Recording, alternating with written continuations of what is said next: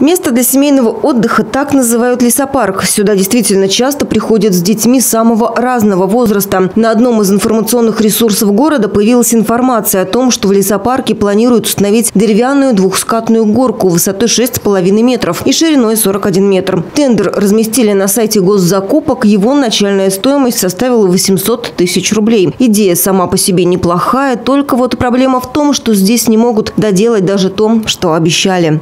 Детская площадка вот на этом месте должна была появиться еще месяц назад. Как мы видим, поверхность полностью заасфальтировали и подготовили фундамент для установки. Но качели, карусели и горки здесь так и не появились, хотя обещали. Вместо детской площадки появилось заасфальтированное пятно. Когда установят все остальное, нам неизвестно. Такой же, покрытый асфальтобетонным покрытием участок появился на обратной стороне при входе в лесопарк. Детскую площадку здесь говорили, должны сделать. Ничего не знаете? Ну, вот здесь будет и детская площадка. Здесь каток будет, там детская площадка. Ну, это как со слов, я не знаю.